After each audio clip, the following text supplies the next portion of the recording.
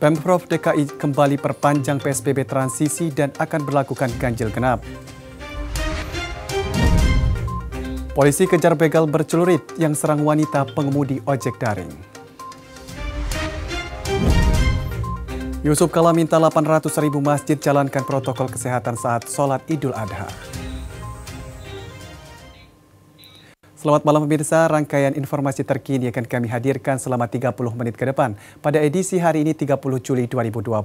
Bersama saya Adi Wiranata, inilah Nusantara Malam selengkapnya.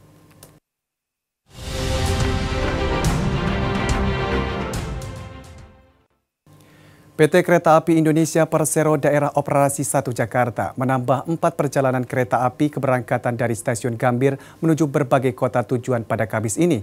Penambahan perjalanan kereta api ini berimbas pada peningkatan jumlah penumpang sekitar 20 persen pada pekan ini dibandingkan dengan akhir pekan lalu.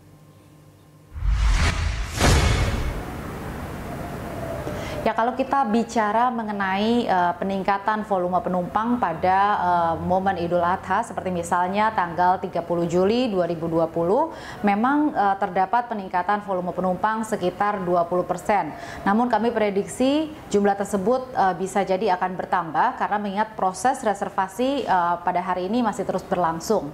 Dan kemudian juga tentunya terkait persyaratan bagi seluruh calon pengguna jasa tetap harus mengikuti ketentuan yang sudah sudah ditetapkan sebelumnya, yakni sebelum keberangkatan tentunya akan dilakukan pemeriksaan suhu tubuh. Jika kedapatan memiliki suhu tubuh 37,3 ataupun lebih, maka tidak diperkenankan berangkat dan biaya tiket akan dikembalikan 100%. Kemudian persyaratan lain yang harus dibawa itu di antaranya hasil uh, tes rapid ataupun PCR yang berlaku 14 hari ke depan atau juga surat kesehatan dari rumah sakit atau puskesmas jika di area tersebut tidak memiliki fasilitas rapid test. Dan kemudian penumpang juga juga nanti diwajibkan untuk menggunakan masker seperti yang sudah diinformasikan sebelumnya uh, serta penggunaan face yang akan diberikan oleh PT KAI. Dan face ini perlu kami ingatkan kembali kepada seluruh pengguna jasa bahwa untuk pengguna yang membawa anak kecil maka diwajibkan untuk menyiapkan face secara pribadi. Namun bagi penumpang dewasa, face akan diberikan secara gratis oleh PT KAI pada saat pemeriksaan boarding telah berlangsung.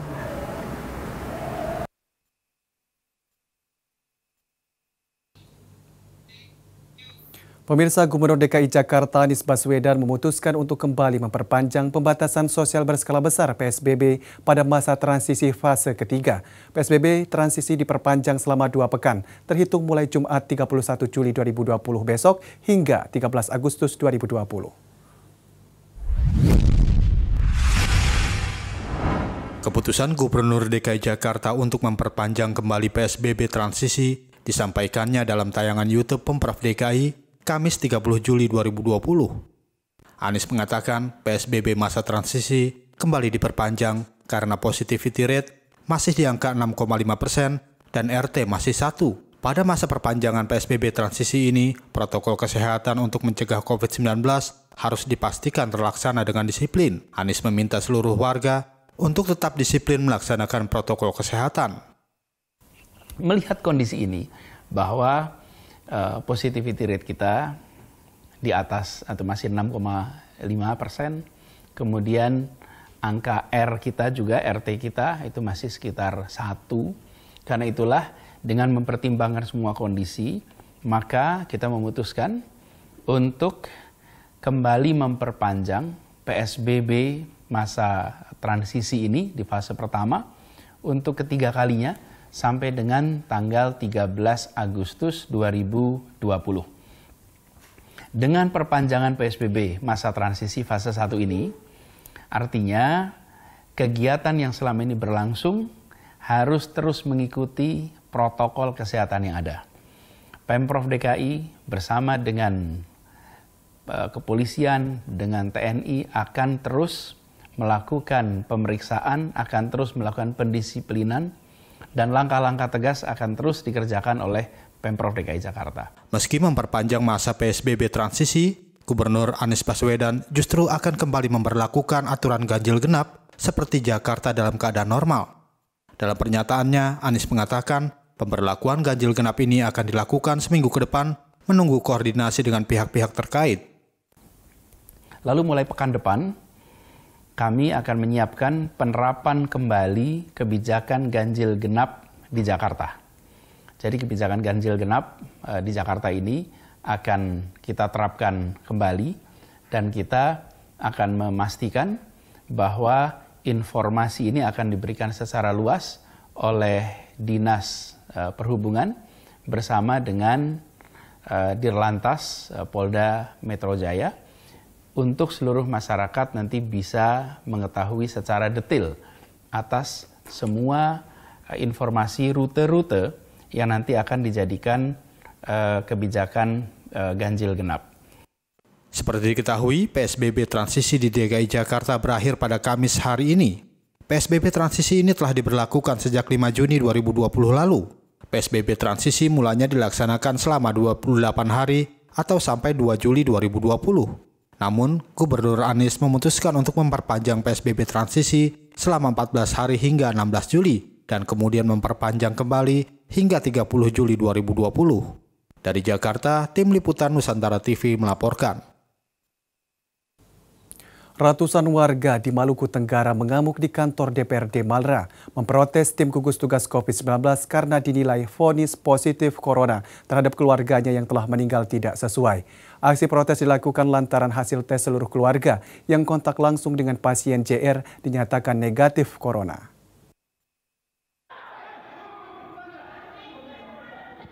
Kericuan ini terjadi di kantor DPRD Kabupaten Maluku Tenggara Maluku. Dalam rapat dengar pendapat tim gugus tugas COVID-19, ratusan warga ini merupakan keluarga JR, salah satu pasien positif COVID-19 yang meninggal di Kabupaten Maluku Tenggara 18 Juli lalu. Ratusan keluarga ini mengamuk setelah mendengarkan penjelasan dari tim gugus tugas Maluku Tenggara yang menjelaskan keluarga mereka meninggal akibat corona karena tidak terima, ratusan keluarga ini pun mengamuk dan nyaris menghakimi tim gugus tugas COVID-19 Maluku Tenggara. Pihak keluarga mengklaim jika pasien CR meninggal bukan karena corona, melainkan penyakit bawaan asma yang ia derita sejak lama. Selain itu, hasil tes terhadap seluruh keluarga yang pernah kontak langsung dengan pasien tersebut dinyatakan negatif. Penjelasan pihak gugus tugas tentang pasien tersebut merupakan pelaku perjalanan juga tidak benar sebab pasien tersebut tidak pernah keluar daerah maupun kontak langsung dengan warga dari luar Maluku Tenggara. Dari Maluku Tenggara, kontributor Nusantara TV, Edwan Rukua Aladin Sukba melaporkan. Pemerintah Kabupaten Bandung mulai membuka pariwisata. Sejauh ini pemerintah Kabupaten Bandung menilai sudah menerapkan protokol kesehatan. Pemantauan pun akan diperketat. Sudah sebulan ini pemerintah Kabupaten Bandung, Jawa Barat membuka kembali pariwisata sesuai dengan arahan pemerintah demi memajukan roda perekonomian masyarakat. Yusuf Nugraha, selaku Kepala Dinas Disparbud Kabupaten Bandung mengatakan, dengan dibukanya pariwisata ini roda perekonomian mulai kembali berjalan. Pihaknya menilai sejauh ini pariwisata sudah menerapkan protokol kesehatan. Ya ini sudah hampir sebulan lebih kita buka kalau untuk perhotelan ya. Uh, sehubungan dengan kebijakan pemerintah baik dari pusat maupun dari provinsi bahwa aktivitas ekonomi harus sudah mulai berjalan meskipun dalam suasana pandemi Covid tetapi tetap harus memperhatikan protokol kesehatan. Jadi secara bertahap kita bangun, eh, kita bangkitkan kembali, mengaktifasikan kembali usaha-usaha jasa pariwisata dan kebudayaan di Kabupaten Bandung. Nah sesuai dengan tingkat resikonya. Meski demikian pihaknya akan menindak bagi pelaku usaha atau pengelola wisata yang tidak melakukan protokol kesehatan dari mulai teguran lisan hingga teguran tertulis. Saat ini pemerintah Kabupaten Bandung sedang menyiapkan peraturan bupati yang akan disesuaikan dengan peraturan Gubernur Jawa Barat. Kita ketahui beberapa waktu lalu, pergub tentang denda yang tidak mematuhi protokol kesehatan telah ditandatangani oleh Gubernur Jawa Barat Ridwan Kamil. Dari Kabupaten Bandung, Jawa Barat, Saifal Ode, kontributor Nusantara TV melaporkan. Polisi kejar begal bercelurit yang serang wanita pengudi ojek daring. Informasinya akan kami hadirkan usai jeda.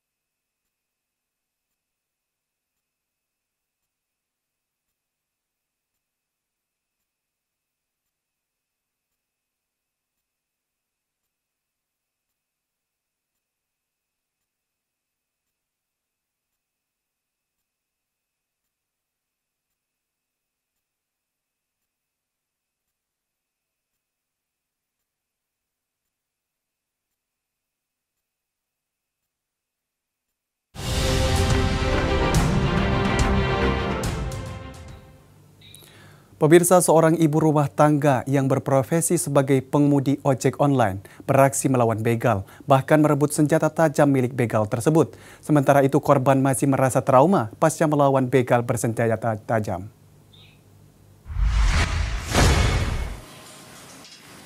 Dengan raut wajah masih terlihat trauma dan merasakan luka lebam di beberapa bagian tubuh akibat melawan aksi pembegalan yang akan merampas harta bendanya. Korban Dewi Wulan Meilani menceritakan detik-detik korban melakukan perlawanan salah satu pelaku yang menggunakan senjata tajam. Bahkan korban harus mempertahankan sepeda motor dan telepon genggam yang akan diambil oleh pelaku. Peristiwa berawal saat korban menerima order makanan di kawasan Pondok Ungu Permai, Bekasi. Saat korban akan mengambil makanan yang akan diantar, justru Dewi Wulan menjadi korban kejahatan. Korban pun melawan sebelumnya kan saya kan uh, dari gerbang itu kan gerbang Marakas kan saya kan uh, di situ agak lama aku uh, ngobrol sama orang driver juga kan ya. Maksudnya udah di mana katanya gitu ya. Terus saya kan habis dapat orderan uh, terus di cancel. Nggak lama dari situ kan dapat orderan food ke sana. Setelah itu kan saya kan ke sana kan saya ngeliat tuh driver-driver lain masih ada apa enggak di situ kan ya. Terus pas saya lihat di lokasi kok ini kok sepi jalan tapi kok ini di jalan masih ramai hanya orang driver pada nggak ada semua nah setelah saya jalan terus terus terus sambil saya ngelihat saya sambil ngelihat uh, baca GPS itu kan ya pak saya pengen tahu ini uh, restonya benar apa enggak takutnya kan order kritik juga ya pak ya. Makanya saya langsung lihat handphone saya langsung jalan ke sana kok perasaan saya nggak enak saya sempat berhenti tuh pak. Kan tadinya jaketnya rangkap dua saya lepas yang jaket satu lagi jadi rangkap satu aja yang pakai itu kan ya.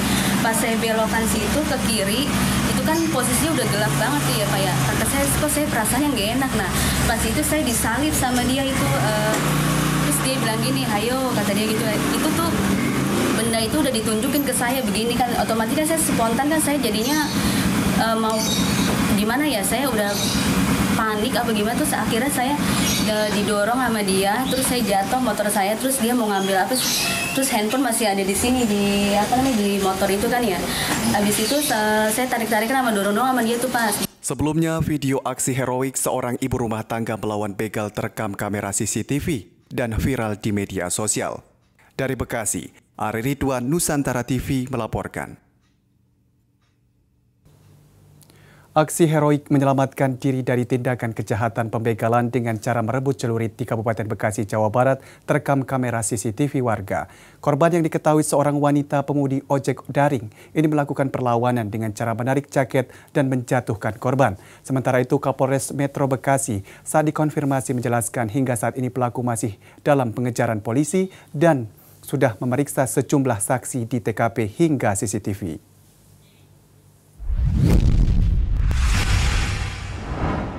Kasus pembegalan yang dialami seorang wanita pengemudi ojek daring di Jalan Raya Sektor 5 Perumahan Pondok Ungu Permai, Kelurahan Bahagia Babelan, Kabupaten Bekasi, Jawa Barat, saat mempertahankan barang berharganya dari tindak kejahatan yang terekam kamera CCTV viral di media sosial. Dwi Wulan Mailani, 33 tahun, berusaha melawan begal bercelurit bersejumlah dua orang dengan cara menjatuhkan hingga merebut senjata tajam jenis celurit milik pelaku. Sementara itu, Kapolres Metro Bekasi Kombes Pol Hendra Gunawan di sela-sela kunjungannya menjelaskan institusinya sudah memeriksa saksi dan korban untuk dimintai keterangan terkait viralnya video di media sosial. Selain itu, bukti CCTV yang dimiliki seorang warga di TKP juga sudah dalam pemeriksaan dan penelitian polisi, sehingga nantinya menjadi barang bukti untuk menjerat kedua pelaku pembegalan. Eh, rekan-rekan sekalian, saya ingin menyampaikan perihal viralnya video di medsos mengenai perampasan HP yang dilakukan oleh penjamret pelaku eh, 365 terhadap seorang ibu inisial DW yang terjadi pada tanggal 26 Juli eh, kurang lebih pukul 2.45 kami melakukan pengecekan ke TKP dan mengambil keterangan dari saksi-saksi Walaupun uh, sampai saat ini korban belum membuat laporan di Polsek Sektor maupun di Polsek, namun kami inisiatif karena uh, video ini sudah viral di medsos dan uh, beberapa saksi serta korban sudah kita ambil keterangan. Sudah lakukan uh, pengecekan, penelitian dan penyelidikan. Diketahui kasus pembegalan terjadi pada Minggu 26 Juli 2020 pada pukul 2.40 waktu Indonesia Barat dini hari kemarin dan menjadi viral di media sosial lantaran pelaku begal gagal merebut barang berharga yang dimiliki seorang wanita pengemudi ojol. Sementara itu kasusnya kini ditangani Polsek Babelan dan Polres Metro Bekasi. Dari Bekasi, Ari Ridwan Nusantara TV melaporkan. Dirlantas Polda Metro Jaya Kombes Pol Sambodo Purnomo Yogo meninjau stasiun Gambir hari ini. Kedatangan Dirlantas ini adalah untuk mengecek langsung pelaksanaan protokol kesehatan di masyarakat.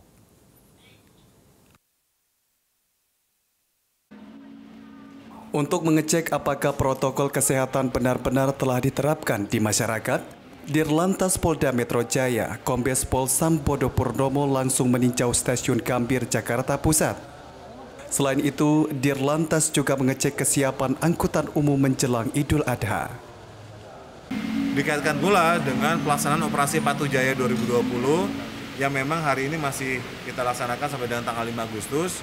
Dan dalam operasi Patu Jaya ini kan memang eh, targetnya ada dua, yaitu meningkatkan kepatuhan terhadap disiplin berlalu lintas dan juga meningkatkan kepatuhan masyarakat terhadap protokol COVID-19. Sementara itu, Sambodo memprediksi lonjakan penumpang transportasi untuk pada arus balik Idul Adha pada hari Minggu 2 Juli 2020 mendatang. Dari Jakarta, Pradev Kumar, Febri Dwi Jayanti, Nusantara TV melaporkan. Terdapat 181 perwira TNI terdiri dari 76 pati jajaran TNI Angkatan Darat, 82 pati jajaran TNI Angkatan Laut, dan 23 pati jajaran TNI Angkatan Udara, termasuk di dalamnya Mejen TNI Richard Tampupulon yang ditunjuk menjadi dan Kopsus TNI.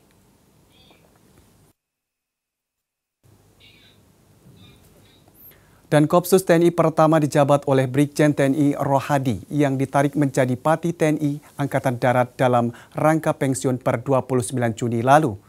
Sebelum diangkat menjadi Dan Kopsus TNI, Richard menjabat sebagai Kepala Staf Komando Gabungan Wilayah Pertahanan 1. Dalam karirnya, Richard sempat menduduki jabatan strategis mulai dari Komandan Korem hingga Komandan Satuan Elit TNI AD Kopassus. Richard lulus dari Akademi Militer tahun 1992 mengawali karirnya menjadi Babanda, Lead Sintel, Mako Pasus kemudian dan Yon 11 grup 1 Kopassus. Dan selanjutnya hingga menjadi dan grup 2 Kopassus dan dan grup 3 Kopassus di tahun 2015. Setelah itu Richard menjabat sebagai Komandan Korem 023, Kawal Samudra dan dan Rindam 6, Mula Warman, Karir Richard terus melanjak saat ia dipercaya menjadi Wakil Komandan Jenderal Komando Pasukan Khusus pada 4 Februari 2017. Selepas menjabat, Wadanjen Kopassus Richard dipercaya menjadi Kasdam 6 Mula Warman pada 5 Desember 2019. Richard melepas jabatan sebagai Kasdam 4 Mula Warman dan menjadi Kasko Gab Wilhan 1. Tujuh bulan menjabat sebagai Kasko Gab Wilhan Richard kini menjadi dan Kopsus TNI dan Sisi Operasi Militer.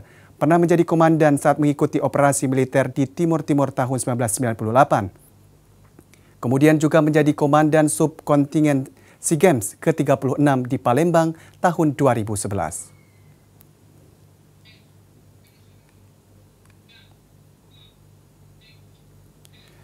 Antusias peserta bimbingan teknis pengembangan WUB IKM Jakarta Timur. Informasinya akan kami hadirkan usai jeda.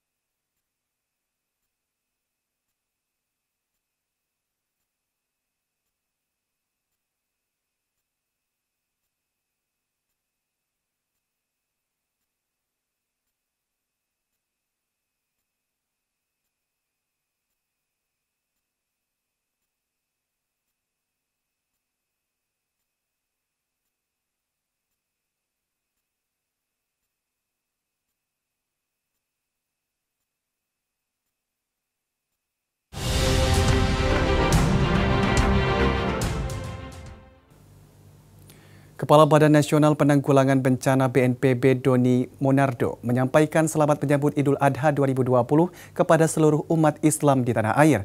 Dia mengajak umat Islam menjadikan Idul Adha kali ini sebagai momentum untuk berdisiplin dan patuh menjalankan protokol kesehatan.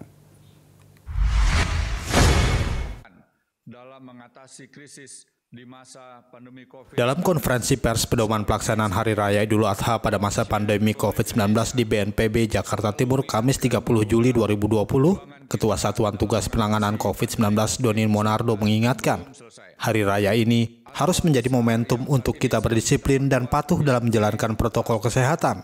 Serta selama pandemi masih berlangsung, maka pelaksanaan protokol kesehatan wajib dilaksanakan Jangan sampai masyarakat menganggap sepele imbauan protokol kesehatan karena akan berdampak buruk pada kesehatan.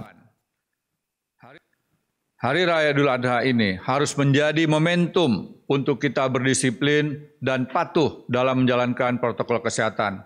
Saya ingin kembali mengingatkan bahwa selama pandemi masih berlangsung, maka pelaksanaan protokol kesehatan adalah harga mati kita harus benar-benar berdisiplin untuk menjaga diri, keluarga, dan lingkungan tempat tinggal dan tempat kerja agar tidak menjadi klaster-klaster baru penularan COVID-19.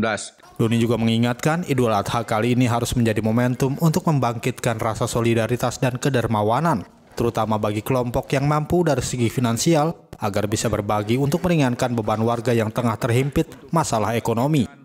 Dari Jakarta, Adi Wiranata Nusantara TV melaporkan. Pemirsa Ketua Dewan Masjid Indonesia DMI Yusuf Kala mengingatkan masyarakat dalam rangka merayakan Idul Adha untuk tetap disiplin menjaga protokol kesehatan.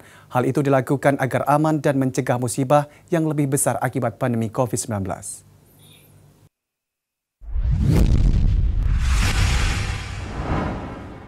JK, sapaan akrabnya di Media Center Satuan Tugas Penanganan COVID-19 Geraha BNPB Jakarta Kamis 30 Juli 2020 mengatakan, Hari Raya Idul Adha ini bertepatan dalam suasana waspada, suasana COVID-19 yang bisa menyebabkan musibah besar apabila tidak disiplin bagi siapa pun penduduk dunia.